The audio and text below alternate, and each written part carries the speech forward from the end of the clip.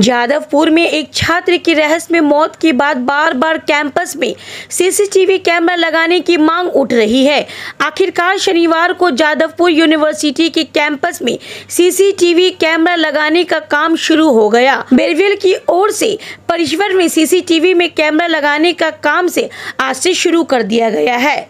विश्वविद्यालय के पाँच परिवश द्वारा और विंडो भवन के सामने कैमरे लगाए जाएँगे। कुल उनतीस सीसीटीवी कैमरा जादवपुर परिसर को कवर करेंगे। इनमें से 26 सीसीटीवी कैमरा परिसर के अलग अलग हिस्सों के निगरानी की जाएगी। वहीं तीन कैमरे सर्वर रूम के अंदर गतिविधियों पर नज़र रखा जाएगा।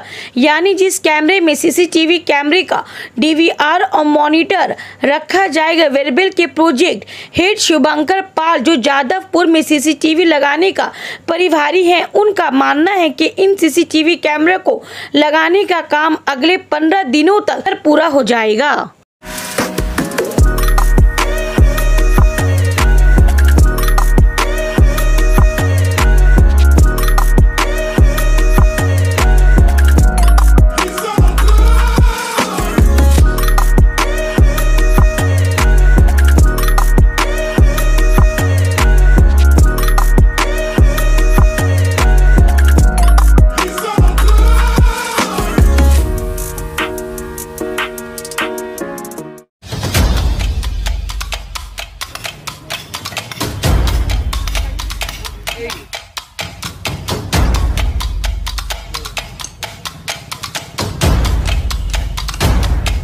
जादवपुर में एक छात्र की रहस्य में मौत के बाद बार बार कैंपस में सीसीटीवी कैमरा लगाने की मांग उठ रही है।